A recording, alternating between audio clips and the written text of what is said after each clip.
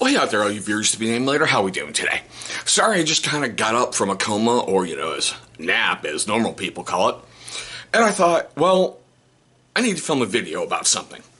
And no, no, it wasn't about my experience with a nap or the dream or any of that kind of fun stuff. Um, I know I've released some different videos recently, okay? And a huge trend in them is how I'm processing my anger better. So I think I'm really going to call this video like gain control of your anger. All right. I am by no means an expert. I am no means anything medically trained. I mean, it's taken me almost 50 years on God's little marble here for me to be able to handle things a heck of a lot better. And that's because of the help of a very, very good friend. And no, not going to mention anyone's name, Prack. Really, not to mention one's name, beard practitioner. You're like a virus. You get in there, you put good thoughts in people's heads, and you just can't get rid of you. Now you know why we call him Darth Prack. And guys, if you think that was a serious thing, no, it's just a little bit of fun at Prack's expense. But, you know, I, I figured let's start this and take a look at the definition of the word anger. You know, and they call it a strong feeling of annoyance, displeasure, or hostility. Okay, we, we all deal with anger on a daily basis. We all do. Whether it's, oh my god, I bounced the check, Starbucks is running whatever, seriously, I gotta put on a mask to go in the store, oh wow, this video game isn't going well. Trust me, the cuteness factor has picked up my hostility with video games. Sometimes it's cute watching her yell and scream at a computer, and other times I'm really worried about what have I shown her? What have I taught her? What have I instilled in her? But after I had an incident a while ago where I just basically lost my mind over a weekend, I decided to make some changes. And thankfully, and we're going to talk about this in one of these little six steps that I've been doing, and it's going to really, really make sense. Thankfully, I talked to somebody and they helped. Okay. But I figured I'd share this with you guys because this seems to work for me. And you never know. If it works for me, it may work for you. You know, when, when I'm getting angry, one of the first things I do is try to think. You know, think about why is this making me pissed off? Why am I angry? Is it justified? Is it not? Am I flying off the handle? because, well, I've got Irish and German blood running through me. So talk about a fiery, passionate people who's really, really quick to anger, really quick to fights, and really quick to start wars. You know, I, I made this joke growing up. I was genetically bred to be an alcoholic who wants to take over the world. So you go process that. But I've had to think and I've had to engage this a lot more and try to figure out why am I getting upset. So that, that was just first thing I've been doing. Number two is um, I call it like take a pause. Every so often, when I'm getting really lit about something, I have to step back. I have to step back, and it goes hand in hand with number one. All right. And before I try to react, I just pause and I give it a moment and I go, is it really worth it? Is it really worth this time? Is it really worth it? Okay, so the camera took a dump, and you know, for those of you watching my videos, it's pretty nothing new, which is funny. I'm doing a video about how I'm trying to control my anger better, and the camera tries to piss me off. But still, like I was saying, I just I, I take that pause and try to figure out is it worth saying those words that you may say, or you know, that drink you may have, or that fist you may throw, or that relationship you may end? Is it worth it? You know, so try to put number one and number two together, what you think, and just take a pause seriously, just take a pause and get yourself under control. Number three, I've, I've learned how to stop holding grudges. Because, well, let, let, let's get honest, all right? I'm going to use my brother Joe Bearded Life as an example in this video. So if I'm pissed off at him, he's going to be like, so? You know, it doesn't affect my life. I don't care that's just going to make me more enraged more just, you know, how can you not see this? What is going on? You know? And it just intensifies the anger and it intensifies the hatred and it intensifies the stuff. Let's get honest. If you're pissed off at someone, the only one who's really, really affected is you. You control that. You give that person that ability to have that power over you. You give up that part of yourself. You know, I saw a podcast by uh, Jocko Willink great, you know, great Navy SEAL, great motivator, just amazing dude, okay? And he put in there that he has weakness, excuse me, he has losing losing control of his anger as a sign of weakness. And I'm like, well, I can kind of see that because I'm giving you that ability to control me. I am giving up control of myself and I'm giving it to you. So that's kind of important with number three is, you know, I just learned how to stop holding grudges.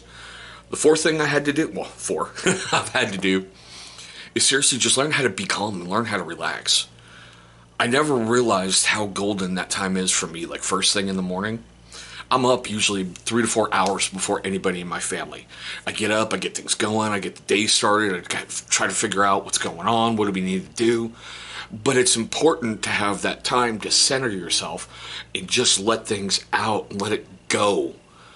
You know, it's weird how I can play a game of PlayStation 4, yeah, PlayStation 4's MLB The Show, or The Amazing Spider Man, or when I was doing a lot of Assassin's Creed Odyssey, just go in and start killing people. And you lose your mind, you focus on other stuff, and you just let things out and let it go you know because when you're angry you're just you don't sleep well you don't eat well you make really really bad choices you know um when i was pissed off a lot i drank a lot and it caused a lot of problems you know and i would always man f that guy shot what does he think he's doing shot i can't believe this shot instead of just letting it go and being calm and just relaxing and no prac i'm not talking about meditating in the corner going oh couldn't resist, brother. I just couldn't resist that one. But just find something to help calm you down. Even if you just got to count to 20 in your head. I don't know, I don't know, maybe step back and have a moment flashing through your head of something you really truly enjoy. You know, I can remember when I had a lot of blood pressure issues and I was at the VA and they're taking, you know, my blood pressure. They started at, you know, because the nurses there all the time, they started asking me about, you know, the cuteness factor. And it was amazing how that just dropped my blood pressure and how that helped calm me and how that helped center me is the one thing that's probably going to kill me, you know, my daughter. But, you know, that's what I call just number four be calm and learn how to relax. Number five was really, really huge and hard for me to do. Man, guys, don't be afraid to ask for help. It's really humbling when you know you have a problem and you know you can't fix it and you got to go to somebody else and go, help me, please. Because we're guys. You're bred to be, you know, the alpha male, the provider, the guy who goes out and kills the Tyrannosaurus. Shut up, Joe. you know, and do all that fine stuff. It's your job to protect your family, do this and do that, do it. But when you can't, then anger builds. You know, you get frustrated. Why is somebody else the breadwinner? Why is somebody else doing this for my family? Why can't I do this? Why can't I do that? I didn't agree with everything Prac sent me because I am really not into Buddhism and Prac is heavily in there, but I was able to take some of the lessons he sent and I was able to focus them in different aspects of my life you know and it's just really amazing to have someone message you every so often and go hey i'm proud of what you just did. Hey that video was awesome. Oh my god it had to be hard for you to do this. And it's like well let's get a little easier you know just like this one i got up from a nap and i went wow i need to talk about this and how i've been letting things go because since i've been doing stuff with prac my life's getting a little bit easier you know i'm not tripping myself up. I'm not putting anything in my way. I'm not stumbling all over myself like I used to and finding any excuse to be mad. But guys, it's okay to ask for help. It's not a sign of weakness. It's actually a, sh- a sign of strength to go, I can't do this. I need assistance. Everybody needs a hand up. You know? It's not a handout, it's a hand up and you know, I've said this repeatedly. One of the huge aspects of my family is we try to give back whatever possible. Because when we first relocated to Skagit Valley, lots of people had to help us because we had nothing. You know, and we're at a point now where we're better than we've ever been in a family, like financial wise, stability wise, everything. We're actually at our best point ever. And it's taken a lot of work, but it wouldn't have got to this point if people hadn't helped us down here. So that's number five. Don't be afraid to ask for help. And the last thing that I've done is try to find solutions. You know, I I know it sounds like all this is like coming from an AA handbook or something like that, but it's not. It's I'm trying to find better solutions to a problem. You know. Okay, so this person made you upset. Did you tell that person? Did you vocalize? Excuse me, vocalize it out. And if that person's like, "Eh, who cares? Why am I going to talk to you? I don't care." Let it go, because there's nothing. And why is my phone going berserk? Okay, sorry there's nothing you can do to control that, you know? Find a better solution to what you're doing because if you're getting pissed off at what you're doing and you're getting angry about what you're doing, obviously it's not the right thing. Life isn't supposed to be all rainbows and unicorns and bunny rabbits hopping around, but it doesn't have to be all fires and pitchforks and, you know, town people burning down your castle either. You got your ups and you got your downs, but it's how you deal with the downs that really determines what's going to go on with the ups if you rant and rave when you're down, I mean, you're just you're gonna push people away. You're gonna knock people away from you. You're gonna have people go, man, don't talk to him because he's just a dick. I've been there. Seriously, I've been there. I had to do some humbling things and apologize to people. I had to accept some other people's apologies as well, and it's just wow, you know. But yeah, so I don't know. I don't know if any of those can help you. Those are the things that have been really, really helping me. So, like I said, just think take a pause before you get really upset. Try to figure out why. Stop holding grudges because it's only going to kill you. Be calm, learn how to relax. Big one is don't be afraid to ask for help and find better solutions. I don't know if any of that helped you guys, but what I would really, really like, all right, and we're going to get to the usual here in a second. I want to know your questions, comments, love, hatred, anger, you know, the usual stuff we do down below. I want to know what you guys do to help control your anger and get that under control.